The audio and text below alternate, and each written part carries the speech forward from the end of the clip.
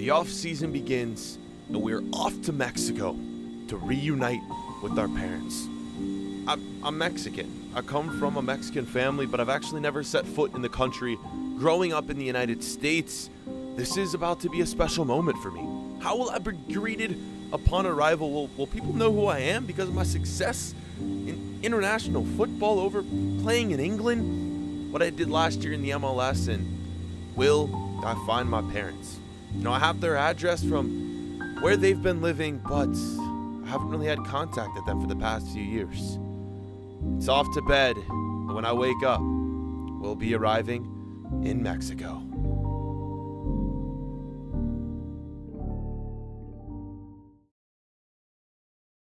Alright, I was not expecting this upon arrival.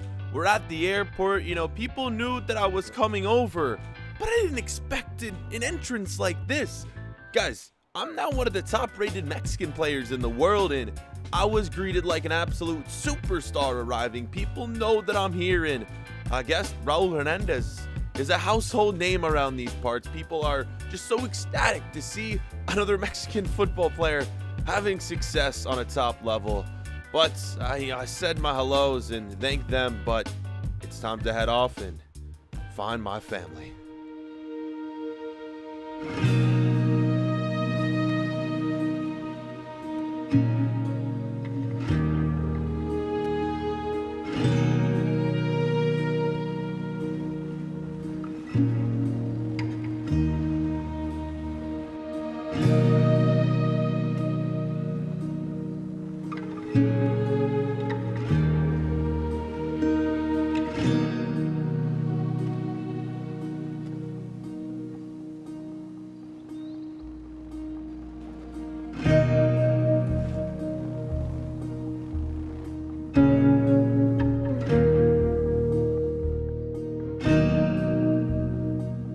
drive in the country took, well, hours upon hours to reach the location that I last knew that they were at. And when I arrived, two people standing.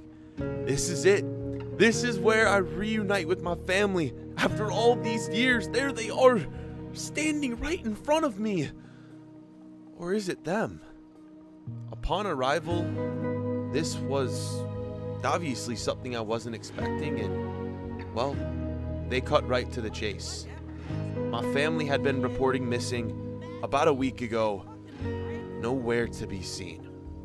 This is, in fact, where they'd been living. This is their home for the past few years, but after the mysterious disappearance, they'd seemingly vanished. Why? I mean, I'd announced that I was returning to Mexico about a week ago as well, so maybe they were coming to see me. They'd found a way to get out. I I, don't know what to think. I don't know what to believe. No contact.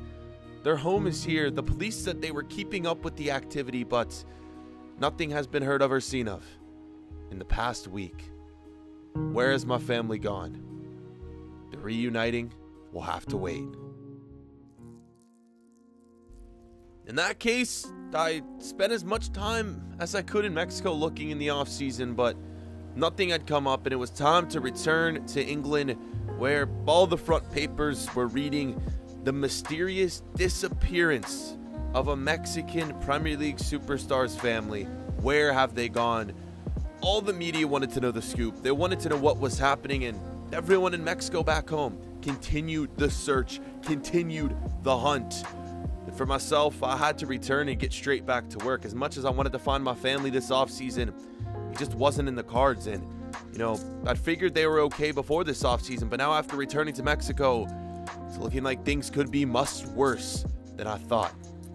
We've gone up to an 80 overall, which I would say is good news, but at this point, is there really any good news? The Europa League, as well as a competition that I didn't think we'd have a chance to compete in, but we do.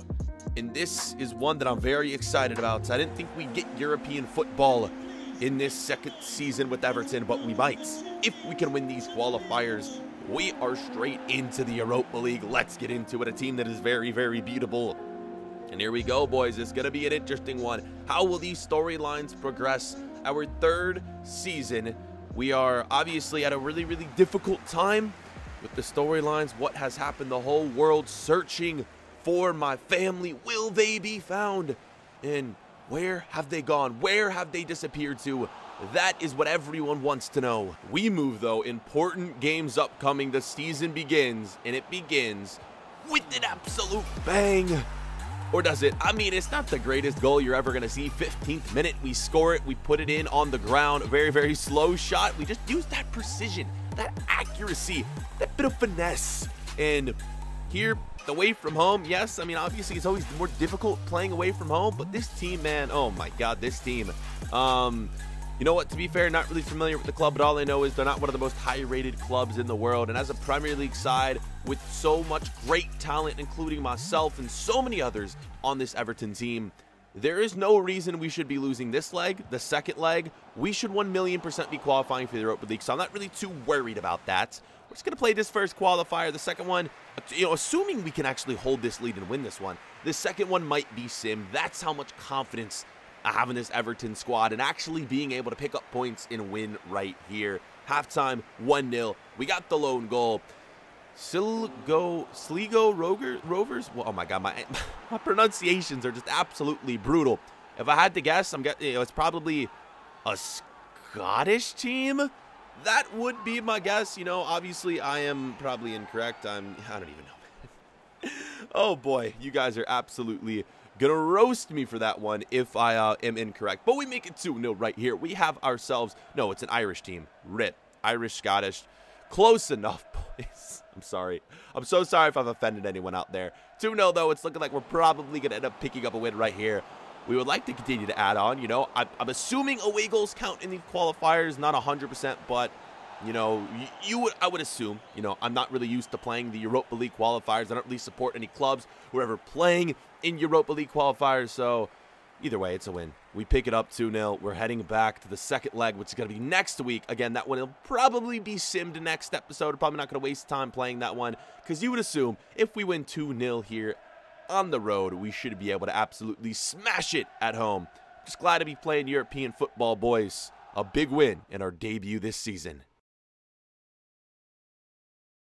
I'm not gonna lie, I've had a rough go of it here in this first month of August as the Premier League is about to kick off. You saw Europa League qualifiers, and I'm basically just sat here thinking to myself, what is my plan moving forward? Last season, I had the goal in mind to secure enough money to be able to go over to Mexico and be able to afford to bring my family to basically wherever and get them out of where they were living but now that they're they're gone and there's really no control, I have no control of where my family are. I, no one knows at this point. I'm just left to wonder what is my next call? What is my next opportunity? What am I even playing for at this point?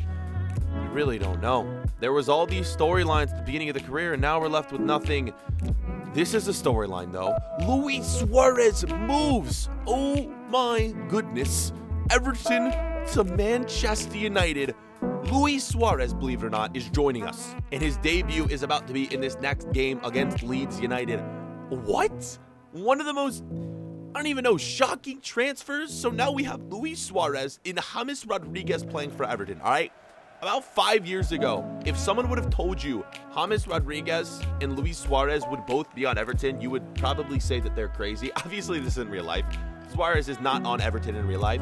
But yo, this is the beauty we get with FIFA, man. What a transfer. I'm so excited for this. We're all in the starting 11. Cordoba, I, I, I want to say he's a new transfer, could be wrong. And you know what that kind of makes you think? With Luis Suarez moving away from United, does that clear room for my friend? You guys know Blake Johnson, our you know, Bond we had growing up, he's now on United. He's a striker. Could that be clearing room for him to be the next starter? The next starting striker on United? Oh my goodness, that's going to be an interesting one to look out for. Let's get into this Premier League debut, though, boys, in season number three. Leeds United. We got off to a super, super hot start. Can we keep it up? Can we keep it going? You're about to find out. Here we go. This is going to be a fun one, man. We're looking through big things in the Prem this year. And it all starts with this 1-0. And you know, it's, it's early in the season. This is only our second game, but we've been putting in some big goals. The offense has been flowing. Myself in the midfield, you know, I'm, I'm actually learning to play more of a central midfield role instead of an essential attacking midfield role. Getting these assists, playing these through balls. This is a great one right here, man. I'm staying in position. I'm doing what I need to. I'm not scoring the ball, and I'm letting my teammates do the work because you've seen our attack. It's a really, really solid attack. And if we can continue to, to, pass like this, play like this, you know maybe I'm getting a little bit ahead of myself, guys. We have played a team in the Irish League and Leeds United, a team who's most likely to be more towards the bottom of the table, you would assume. So, or we, am I getting ahead of myself 2-0 now? I don't know. I, it's, it's so early, but I'm very confident in this team. I think that's what I'm trying to say. And still with time left in the transfer window, we've brought in Suarez. We've brought in a few others could there be enough time left for another massive, massive signing? Could you imagine the scenes, man? If we could, you know, I think what we need at this point, maybe a better goalkeeper or a few defenders. We're looking very, very solid. I'm confident in our attack. That's one thing. It may not be the greatest attack, but adding Suarez really, really helped us out. And this is going to be 3 0. See, at this point, this is when you know that we're playing well, when I'm not even involved in the attack, and it's my teammates doing the work, scoring the goals. 3 0 Leeds United. Oh, poor Leeds United. This one's not looking good for them, is it? Wow, what a start to the Prem, man. I'm loving that we're showing out in front of these fans at Goodison as well. Holy crap, what a volley right there. Keeper really leaves nothing for him to do. And there it is. Unfortunately, no goal for Luis Suarez in his debut. He's rocking that number 27. Should we change that for him? Should Suarez be changed from number 27 and I apologize yet again. Digne still wearing the number 12. I need to switch that one. Oh my god, I've been putting that off for so long. Either way, boys, 3-0. What a win.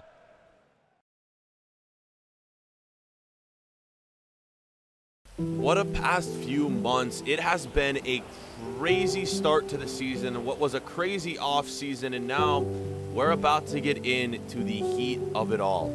After that first month passes, you start ramping things up with cup matches, with European competitions, and we're already into it, man. It is about to be one hell of a season. So much madness going on.